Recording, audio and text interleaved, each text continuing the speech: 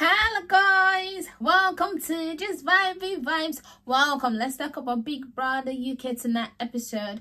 Okay, I'm not just gonna talk about the nominations and their reasons, although I have that written down, but I'm sure it's trending everywhere and everybody's talking about it. I'm just gonna talk about Zak and Henry, but Zak more importantly. Like, what has Zak done to everybody? Because I do not understand. Like, is it that these people are not usually nice? Because Zak is always there for someone when they're down. He tries to motivate them. And if you're someone that is a minority, like in this country, however, the way we were brought up, like the black people, the Asian people, the way we were brought up is by you have to keep going. You know I mean? Motivation. You cannot give up. All those kind of things. So he's just trying to give them some knowledge of what he has learned. So whenever he sees them down, he tries to motivate them to stand up. But somehow that is fake. Like I don't understand. Whenever they're in their lowest moment and he goes to motivate them, they listen. But then they say, oh no, he is fake. Oh, he must be fake. He's not being true. He's playing a game. Like, wow. This just shows me the kind of people that you guys have around each other because it tells me that they don't even know what real is it's just ridiculous. It's like him telling uh henry like may the best man win. That's just a joke. That just means that because both of us one of us will be out. He was not trying to what i don't what did henry even think he was saying? Zak cannot win. Honestly if i was zak but obviously he cannot see. The thing is everybody is laughing at his face smiling to him in his face but nobody is telling him even Chanel that I thought even, you know I mean, like maybe things on her own. She even fell for it because Haley and Jenkins also fell for it, but Jenkins is also one of them, let's be honest. So Haley and Kerry went around, talk, Zak did this, Zak do that, and then everyone now starts watching him with a microscope. And they know that uh, nominations is coming up so that he will be up. Like, honestly, it is just too much. I can't even lie, it is too much. I feel so bad for Zak. And the reason why I feel more bad for him is because I feel like somehow he doesn't have a chance to even be saved. If I have to save, I'm going to save Zak, definitely. But the problem that I have is this. Yinrun is closer to uh, Henry. Jordan is closer to Henry. Jordan and Yinrun are the public favorite. So definitely they're going to want to keep Henry because him and Jordan are husbands. And they would want to keep him because Yinrun was crying. So there you go. That's what is going to happen. So honestly, what's even the point? And also, what is Big Brother going to do to Haley and Olivia? For them talking about the nomination writing and uh, uh, stop stop you know what i mean? What what what is big brother going to do?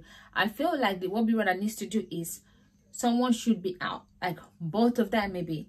Should be out or should be facing next nomination and then cancel this nomination because it makes no sense. They will automatically be up for nomination and then whoever else is nominated and then Brother can send three people out at the same time. I don't care.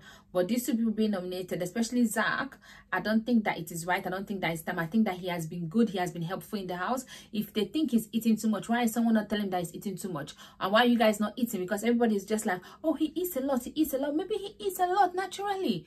So just tell that guy, you're eating too much. Sometimes, honestly, people don't know when they're doing things like and i feel like zak has gotten so comfortable he actually sees these people like his family like his friends. He's forgotten that it's actually a game.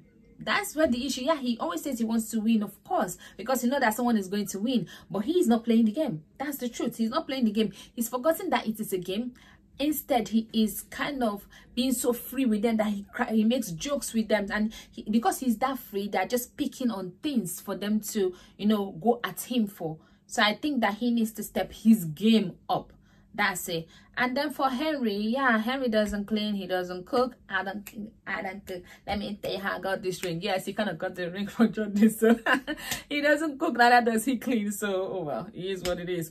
But I do think that honestly, I feel like the people that deserved to be on that chopping block is Haley and Kerry. Those are the top top two. And then the third person should even be Jenkins and maybe Tom because I don't know what he's doing there.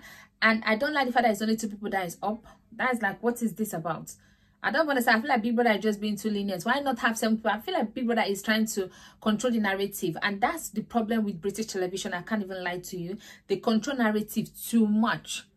because too many people were often mentioned in the three so they cannot put them because they don't want some people to be out and they don't know what the public is going to do so because of that they just leave them that's what i'm saying because i feel like why you controlling narrative for all seven of them should have been up people that got five votes four votes three votes all of them should have been up I mean, all six of them. Then we go from there. Then we pick whoever we want to pick. I feel like that would have been fairer.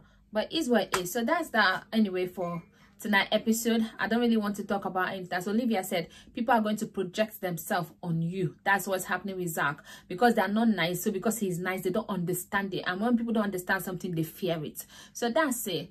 I am just done for tonight. I'm not talking about any other thing else. Please don't forget to like share and subscribe. I'll see you tomorrow night. Bye bye